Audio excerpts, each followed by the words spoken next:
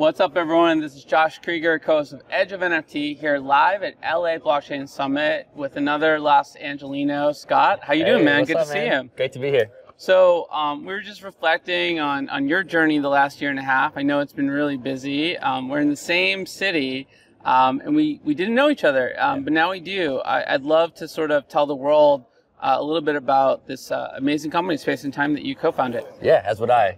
So Space and Time is a decentralized data warehouse, which basically just means uh, it's a data warehouse that's owned and operated by the community, built to onboard a lot of data to smart contracts on every major chain. I got it. So so why does that matter? Yeah.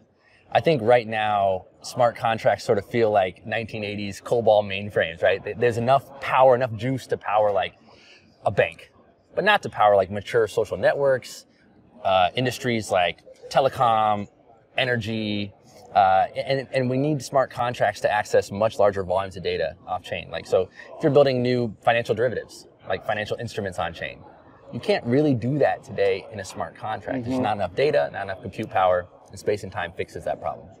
And, and how exactly does it do that? Yeah, so a decentralized data warehouse that can store petabytes of data, not gigs, not terabytes, petabytes of data. How much data is that? I'm trying to get the visual. Like your laptop is like a terabyte, right? Okay. So a thousand laptops. okay, Thousand cool. laptops Got it.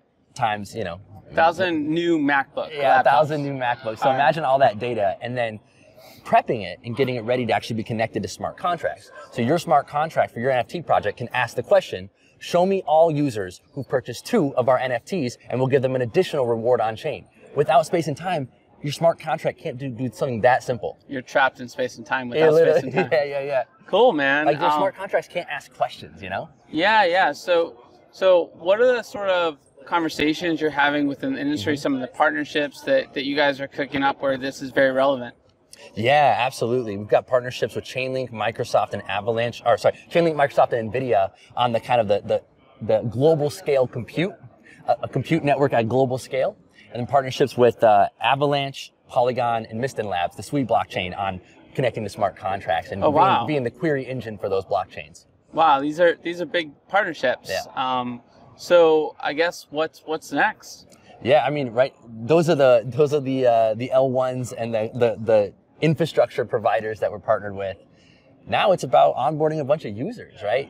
Cool pro- NFT projects that are building new NFT exchanges, new NFT use cases. Like here at LA Blockchain Summit, I've been so impressed by the number of, of different NFT use cases I never would have even imagined. Like, Can- you give us an example of like some of the use cases where mm-hmm. your solution is relevant, just so people can understand Yeah. why they should like reach out to you guys? let's talk about like a, a AAA blockchain game, like a well-funded, awesome first-person shooter, for example.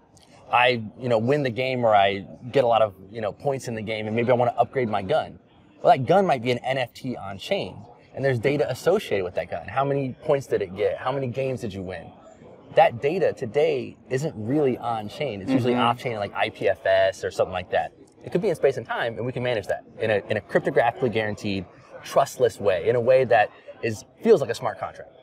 Very cool. And and you guys have like an alpha launch coming up. Is that correct? Yeah, uh, pretty pretty soon, about a month, we're bringing on our first set of, of, of protocols, users, and we're really excited to, to kind of early release of space and time. It's going to be a blast.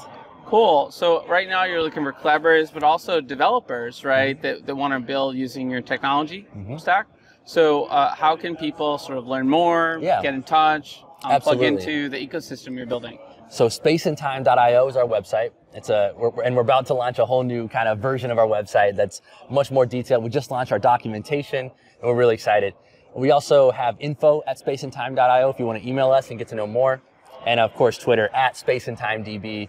We're pretty active in the DMs, and we get a lot of DMs every day of, of people like, "Hey, heard what you're building. We want to build on a familiar database. We want to build on what feels like a SQL solution, and we want to connect all of our data to smart contracts. We'd love to chat. We'd love to chat." Sounds exciting, man. Um, definitely gonna look more into space and time, and uh, hope to see you around LA more often now that we connected. Hell yeah. Looking forward to it.